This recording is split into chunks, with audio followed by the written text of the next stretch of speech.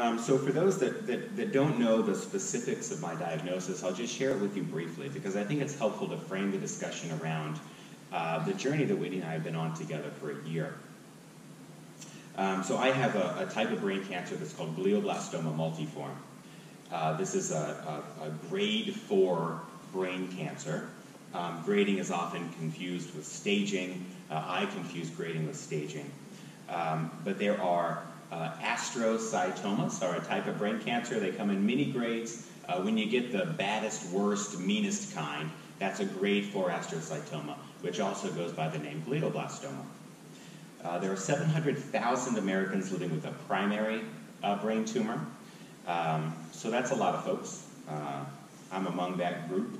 Uh, there are 79,000 more folks that are diagnosed every year in the United States with a primary brain tumor. Um, so, uh, uh, putting that in, in, perspective, Whitney and I were in Washington, D.C. recently having congressional meetings. Uh, Whitney pulled some numbers to help make a compelling story with some of our elected officials. Uh, and of course, representing the Hoosier state, the Hoosier elected officials, we said, well, let's put it in, in these terms. So Whitney gets the credit for this. The 79,000 is, you know, roughly how many people fit inside Lucas Oil Stadium. So if you think about all the people that come out for a, a Colts and Patriots game, uh, maybe not this previous season, but think, you know, a good season. Uh, you fill up that whole place, you sell it out. Uh, that's the number of people that will be diagnosed uh, with a primary brain tumor in the United States this year. Um, so that's a big, it's a big number. Um, unfortunately, um, there are 1.6 million cancer diagnoses in the United States every year. Uh, so 79,000 sounds big, uh, but of course 1.6 million is a larger number. Um, so cancer uh, will soon surpass heart disease as the leading cause of death in the United States. Um, so I think this is helpful to frame our discussion um, because I'm one face with you this evening, uh, but one face that represents however you want to slice it 700,000 people with a primary brain tumor, uh, 79,000 newly diagnosed folks, uh, 1.6 million cancer diagnoses. Well, here is Adam, and I'm a face, and my primary caregiver, Whitney, uh, there's another face for you. So I think it's helpful to think about those big picture statistics and then to narrow them down. Uh, over the past maybe week and a half, um, I've, I've, met some new people, and some of that comes on the heels of uh, the Indianapolis Star did a nice article uh, on, on my family, um, and that, that ran in today's paper, which was kind of a cool thing. I think the journalist did a wonderful job representing our family with integrity uh, and sort of true to the discussion that we had uh, when she spent some time with us. So there's been a little bit more press. I've been a little bit more active on social media. Uh, and I met a new friend. Her name is Alex. Alex is with us this evening, and she's going to wave. And I asked Alex if it was okay if I point her out, and she's waving. So Alex is one of those newly diagnosed uh, brain tumor folks. Uh, so uh, it is wonderful that you're here, and thanks for, for figuring it out to be here. Um, there is so much power in community through sort of these online social media networks. So it's great to be together in a room, uh, but it's great to be together virtually as well. Um, you know, uh, yeah, this is a, a, rare brain cancer that I have. So the community that I have forged has been a community online. Um, so we oftentimes uh, speak dismissively to things like Facebook or to Twitter, uh, but there is so much value when you uh, don't have transportation or you're not allowed to drive uh, or you can't even get out of bed uh, if you can get out your phone and get on Twitter and connect with people around the country and around the world who have your same diagnosis, uh, that's a really powerful connection. Uh, so I met Alex um, online, just uh, you know, I don't know, in the past week and a half or so, and already she's active in one of the groups on Facebook that I'm active on. So at any rate, um, I wanted to. It's so cool that she's here because this is sort of like rare diagnoses, and here she is, and I'm here, and we got a couple of us, and that's awesome. And look at us, we're doing well. Alex is, is hey. I just passed the one year stable mark. Uh, if you're here in March, you know that, that by the big population statistics, uh, only 37% of us are supposed to make it the first year. Uh, well, obviously, those statistics are flawed because I'm doing awesome. Uh, so that's great. So I love philosophy, and many of my close friends know that about me and that I even would venture to say that I'm a little bit of a philosopher myself. Uh, it's something that I've aspired to be for really a long time. There are probably some, some distinguishing uh, characteristics of what makes a professional philosopher versus what makes sort of an interested lay philosopher or a folk philosopher. I think these distinctions uh, come down to something like um, growing up, my dad and I used to shoot hoops out in the driveway. Uh, we were playing basketball, uh, but LeBron wasn't there. So that doesn't discredit the game that we were playing, uh, but we weren't playing at a professional level. Um, so there is such a thing as professional philosophy, and then there's such a thing as sort of philosophy uh, for all of us. And what that might look like in your life is something like I think that the best leadership philosophy is servant leadership. So professional philosophers may or may not engage with you on that discussion, uh, but for the rest of us, it's nice to have those conversations. But those conversations emerge from sort of the foundation that is laid by professional philosophers. I've had uh, really a privilege and an honor uh, to learn from some really excellent professional philosophers. Uh, and I, will you know, I'll sort of, so John Tilley, uh, Dr. Professor John Tilley, uh, Dr. Professor Tim Lyons are two of those. There, nobody else, I, I don't want to leave anybody out. So a couple of the professional philosophers uh, that I've just had the great privilege and honor to study under or to learn from uh, or to, uh, you know, cram handouts before exams uh, with. And somebody else who has a connection to those same people and also has a deep passion for philosophy is a friend of mine named Jack. And Jack is, is back there uh, and came with his family this evening. And I bring this uh, to your attention this evening because Jack has started in motion something that is very touching to me and to my family. And Jack has started in motion fundraising to establish a philosophy scholarship at IUPUI that will be in my name. It'll be the Adam Hayden Philosophy Scholarship. I'm not sure if we're settled on that name. I don't know if there's a ring to that name. We probably need something a little jazzier. But that is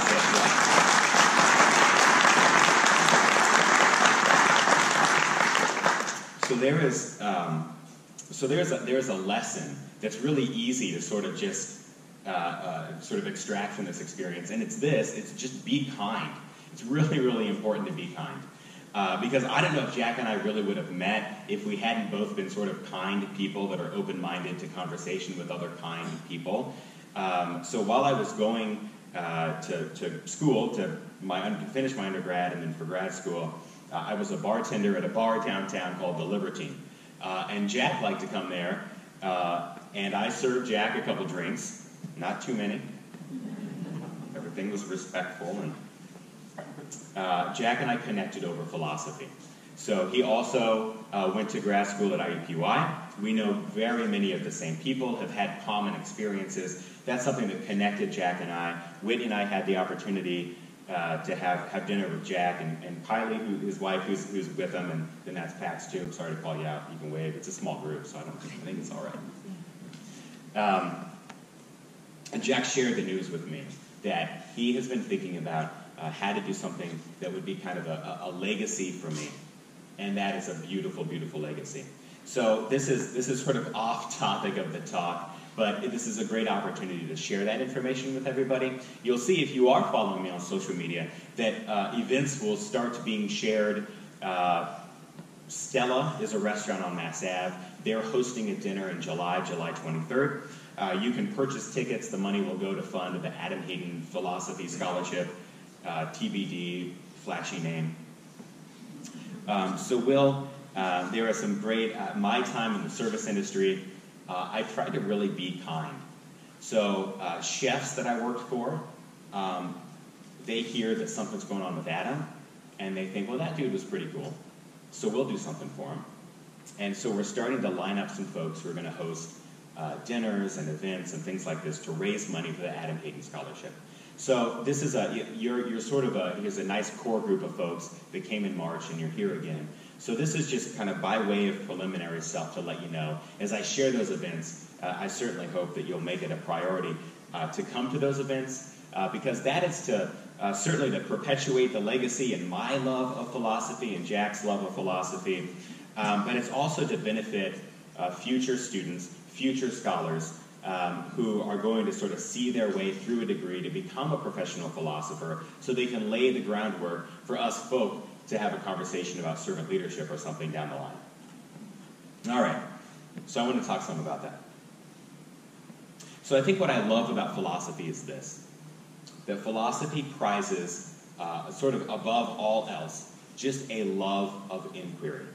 Uh, Professor Lyons, who's here, uh, taught me that, I think, in the very first course that I took with him, um, which is really what we ought to be doing uh, in all avenues of research, whether that's uh, a bench researcher who's looking in a microscope uh, and watching cells divide, or if that's somebody who's um, examining theory change over time and wondering what about that old theory showed up in that new theory.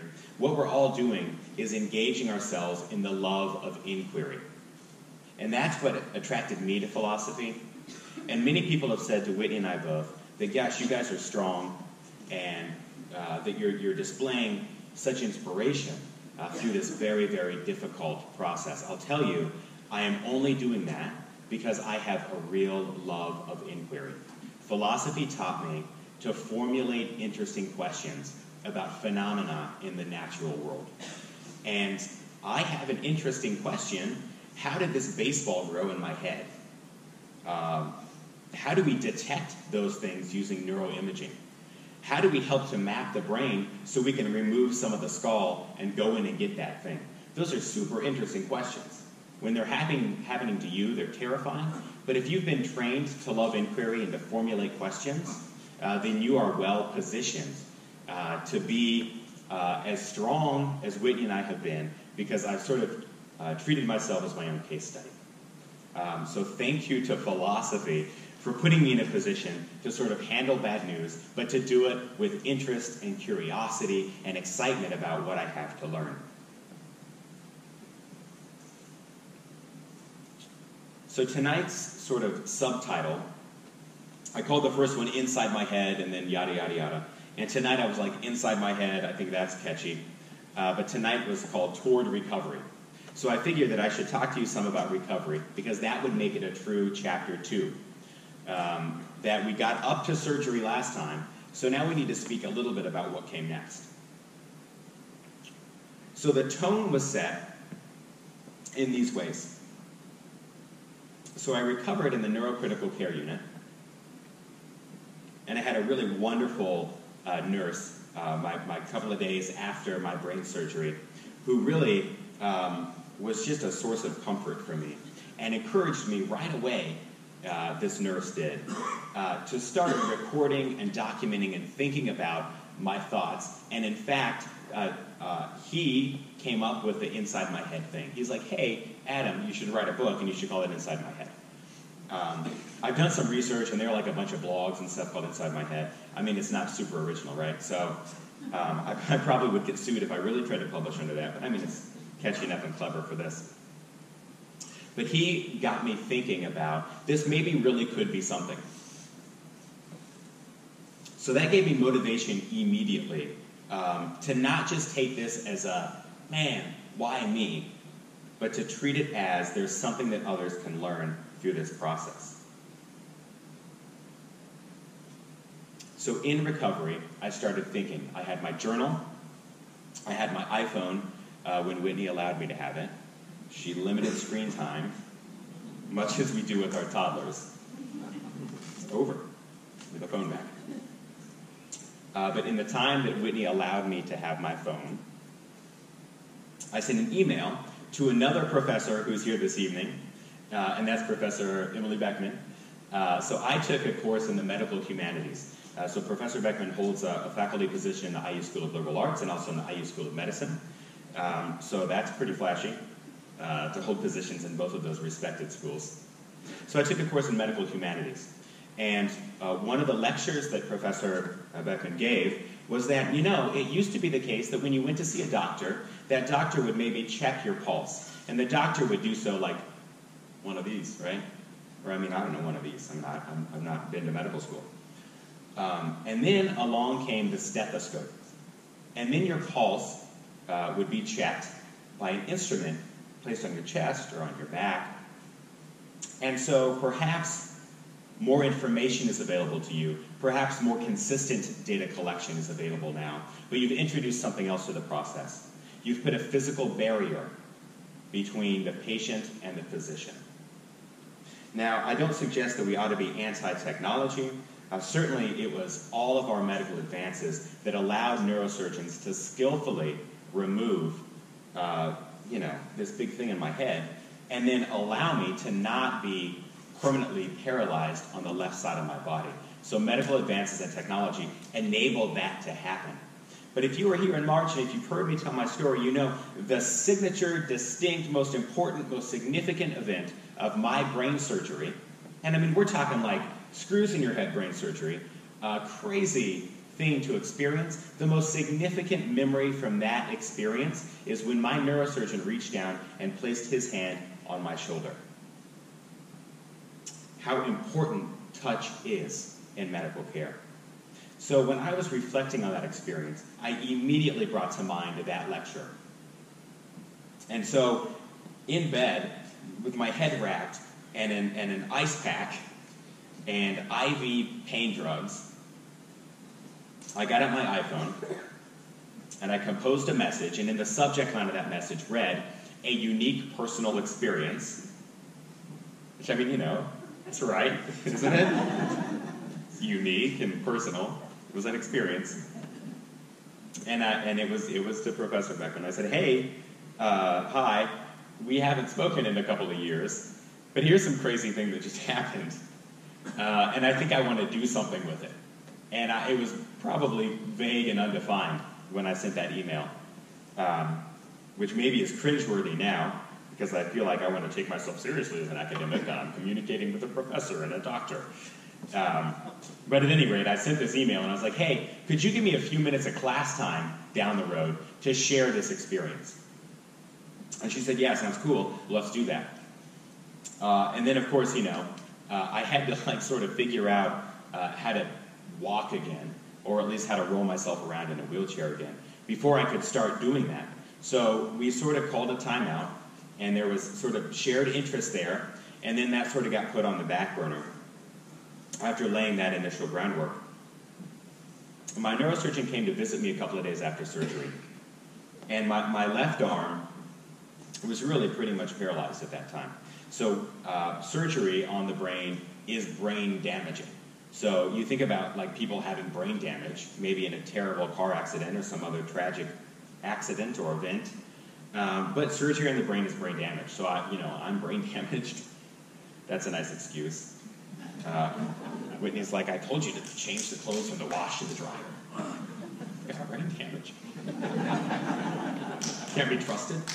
Um, so I was complaining to my neurosurgeon who came to see me and say, hey, how's, how, how you feeling, right? And I said, well, uh, I had to pick up, at that time, my, my right arm, my good arm, I had to pick up my left arm and sort of move it around. And that's frightening. So uh, I was complaining about that to my neurosurgeon, which now also seems sort of trivial and petty in retrospect. That this person who just, you know, whatever, you get it. And I'm like, hey, buddy, wish you would have done this. Like I have any idea. My neurosurgeon said to me, Adam, can you move your arm at all?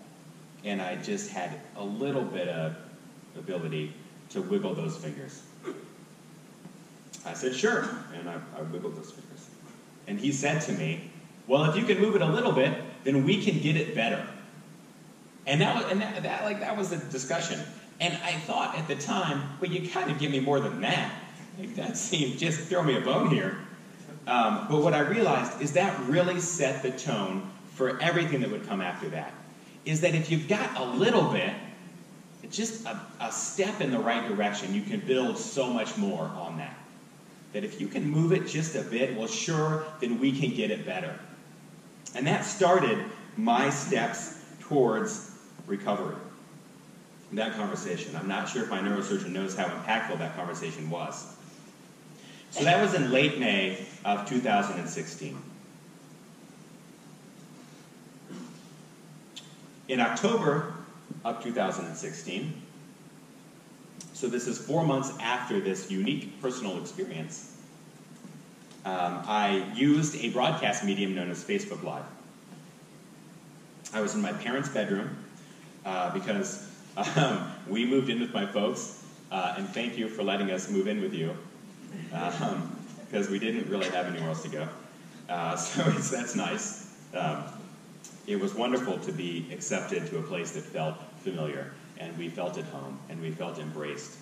Um, and it felt as though, regardless of what happens, we're in an environment that is safe, and we're protected, and our boys are cared for. So I went Facebook Live from my parents' bedroom that we had kicked them out of so that Whitney and I could be in there with our baby. So it wasn't that glorious. and I said, hey, I started a blog, and it's called Glioblastology. Uh, and I'm out here, and I'm trying to get some stuff done. Uh, so please follow along. And so that was in October, and uh, I was I was trying to sort of crank out some blog pieces and trying to find my way. What do people care about? And it turns out they don't really care about the the medical specifics of what you're sharing. They're really what people care about is narrative. So I started having conversations with friends that would come over and visit with me. I started thinking about how do I share my story with them in a way that is compelling, that teaches them something about the experience, but I get something out of it in return. Um, so this is because see, this is awesome. When I did this in March, there were so many people that I didn't want to call anybody out. But now it's like, oh man, I can see everybody. I'm gonna call you out. So uh, Jim, who is where's Jim? Wait, because I just saw you, Jim Eichelman. Yeah, there he is. Hi Jim. I'm sorry that I, I had you and then I lost you. So Jim uh, took me to radiation therapy, which is a daily thing, and it was at 2 p.m. or 3 p.m. Uh, there's been daylight savings time since then. Um, so you know, somebody five days a week has to drive you to the hospital um, and I couldn't drive because of the seizure risk.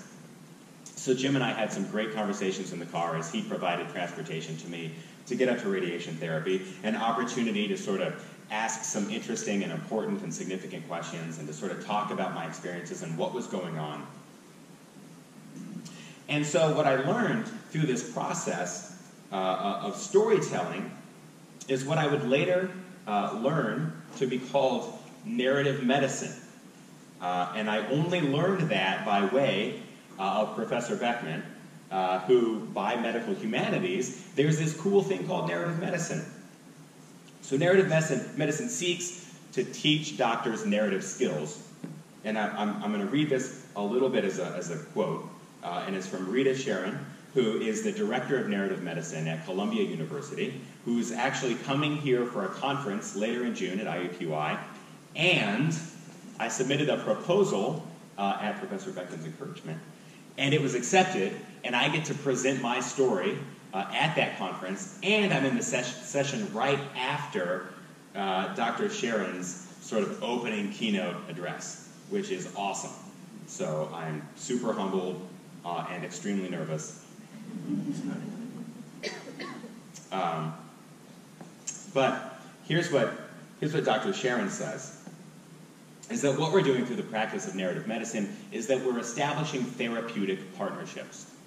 So those drives in the car with Jim, we were establishing a therapeutic partnership.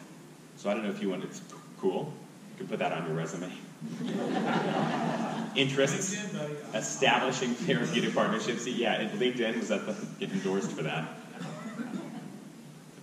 So that the idea is that by teaching these narrative skills, that you're teaching physicians to recognize, to absorb, and to interpret the accounts offered by patients, but expressly so that you may be moved to action. So that it isn't merely narrative, it isn't merely a storytelling event, but it's a storytelling event with the purpose of close listening and being moved to action. So I was moved to action by continuing to keep up this work uh, all the way back to October.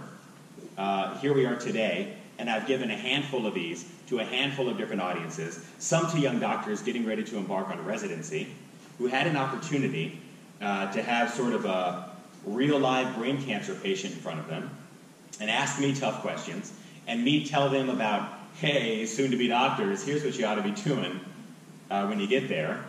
Uh, I can't think of sort of, that's cool, right? That I've been given a platform uh, through this diagnosis, uh, which I am very sort of in awe of the power of disease to give me a platform to share an uplifting story is a really, really cool thing. And I think goes back to my love of philosophy, inquiry, formulating questions, being curious about the world. So there is a burden of responsibility on our doctors that they can recognize the narratives that are offered by patients. That patients report their symptoms, but they're doing more than that. They're also sort of crafting stories about themselves. And through the process of sharing those stories, they're finding out what is really important to the patient.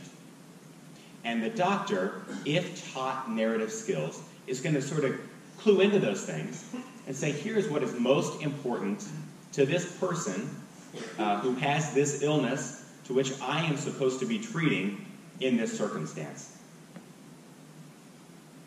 So there is a doctor uh, named Lucy Kalanithi. Lucy Kalanithi is, is, is the wife uh, of, the, of the now deceased chief resident neurosurgeon, Paul Kalanithi.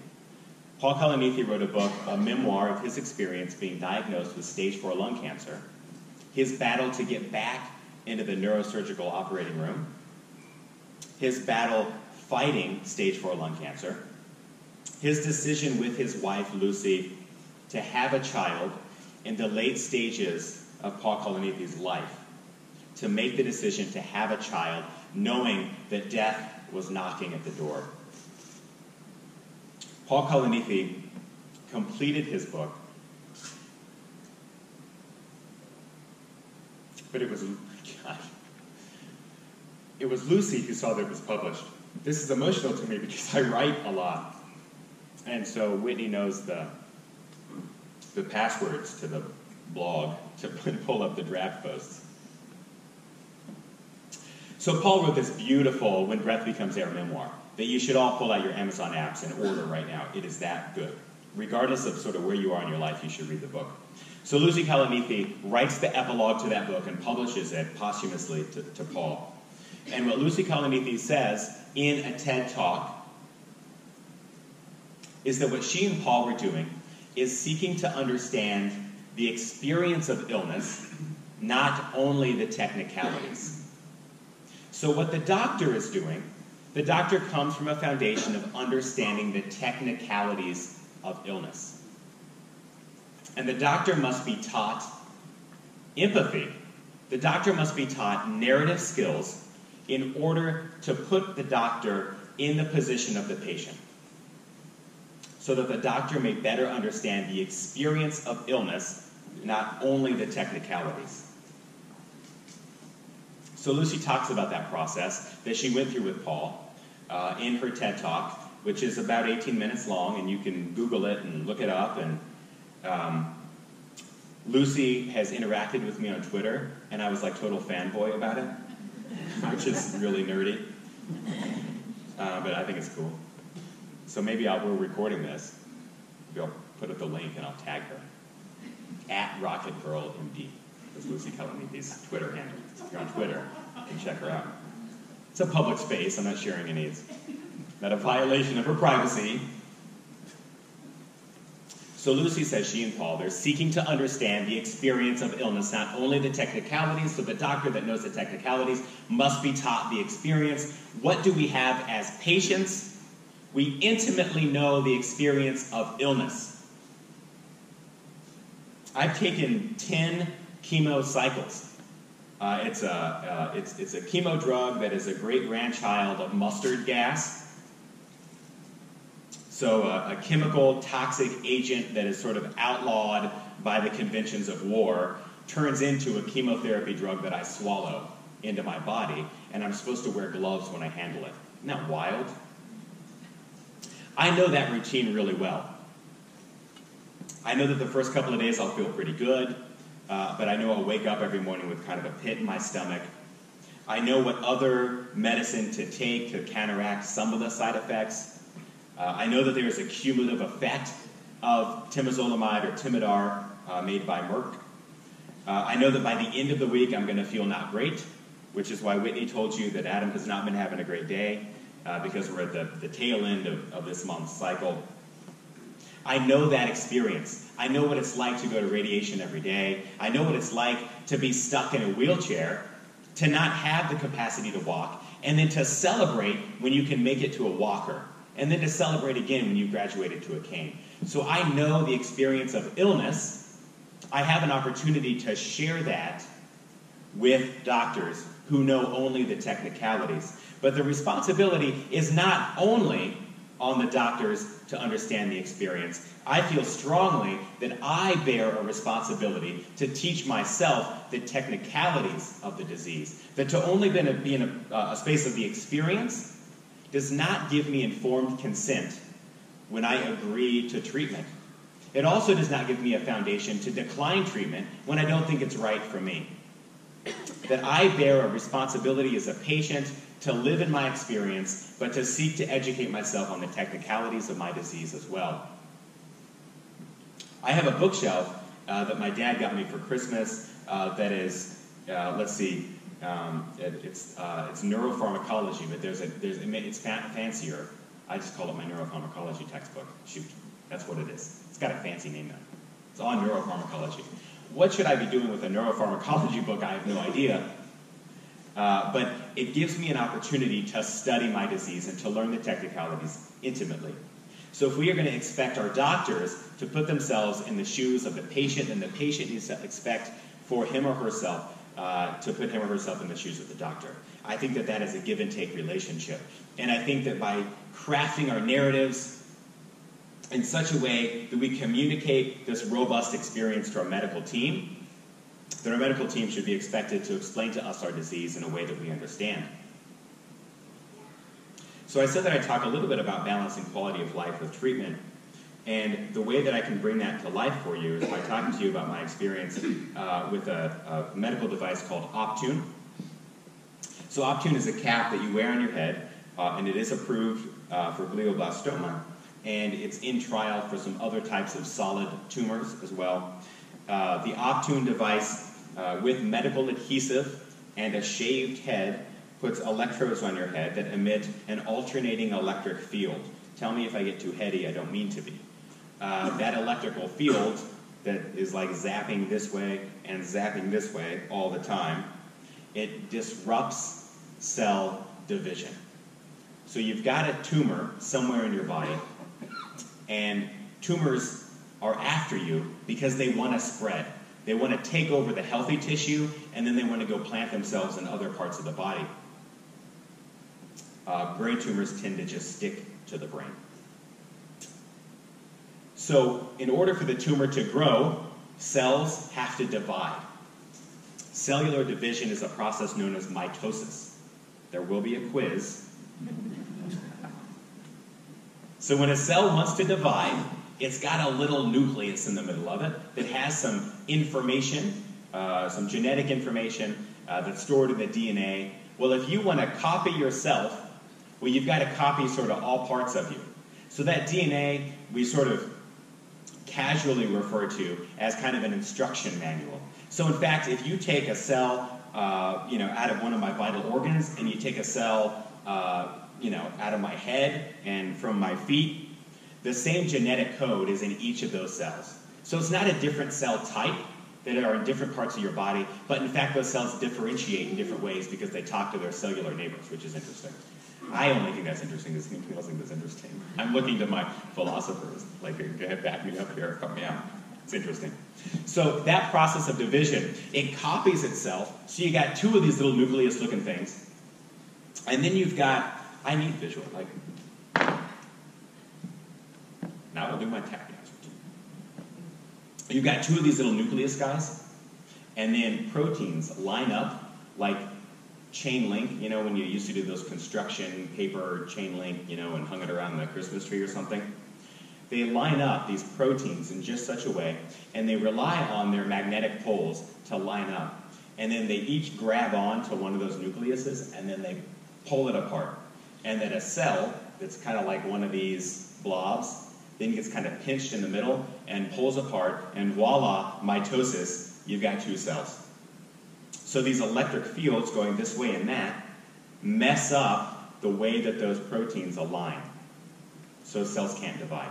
So that's the, the basis behind the tumor treating fields. I mean, I'm not trained in this at all, so you should probably consult the literature for a more thorough explanation. So you wear this thing, And the minimum is 18 hours a day. Like, you gotta be all in. And you gotta change these things every couple of days.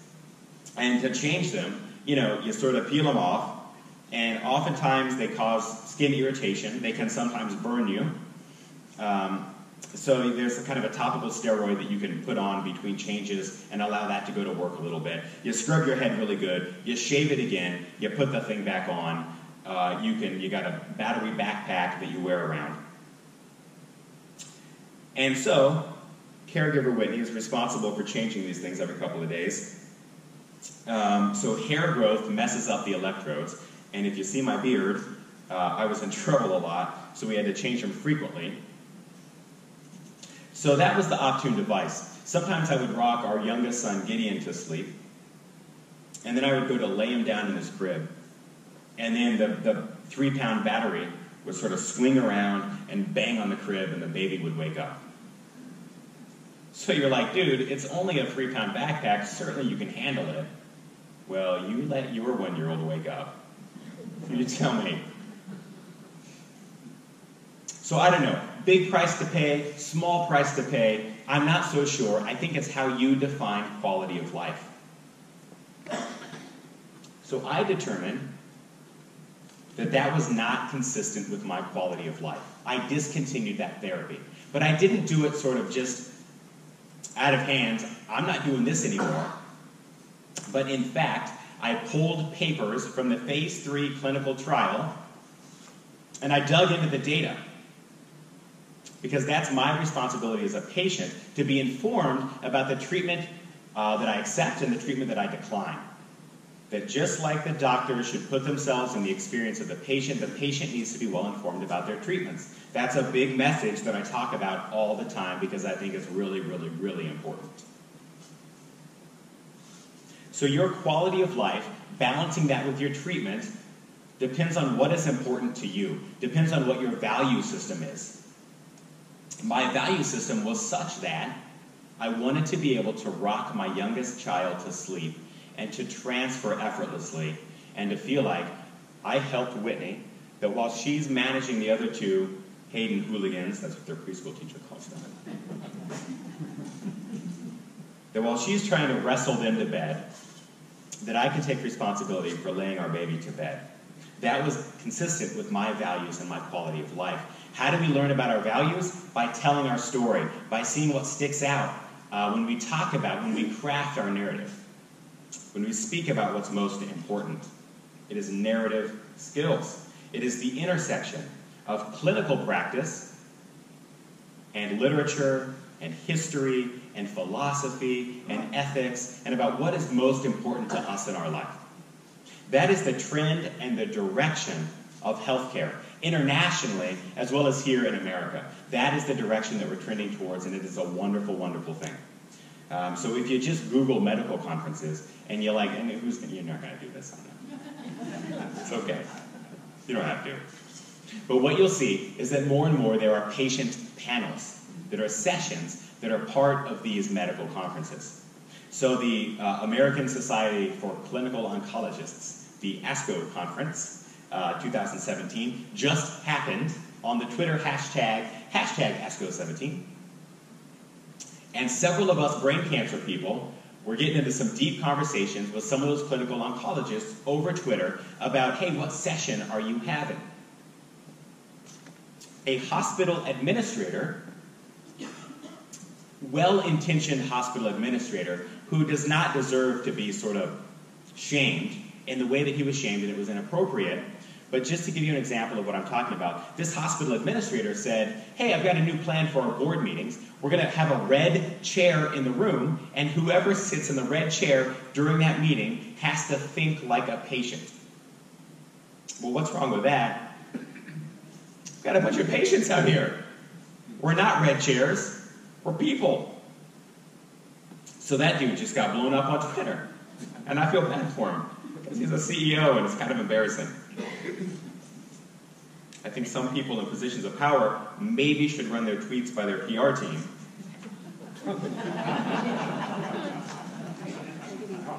That's all I said.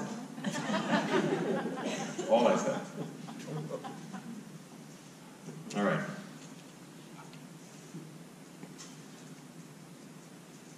I've got a, I've got a, that was my Optune story.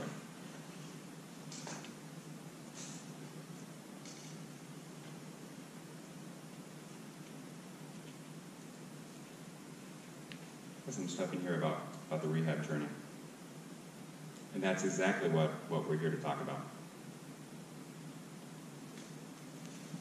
So I was at uh, Community North Rehab Facility. And so Whitney, uh, who is an occupational therapist who's worked in an inpatient setting for 10 years, uh, doing terrific work at Wishard and now at Eskenazi. She timed it really well. She was on maternity leave when they moved from Wishard to Eskenazi. So her coworkers were complaining about having to move. And she just like left and then came back. I got a new desk and a new building. So Whitney is an occupational therapist. She has a network of connections in the therapy community. And Whitney got on the phone and said, where can I find the best neuro-focused therapy team to rehab Adam as quickly as possible?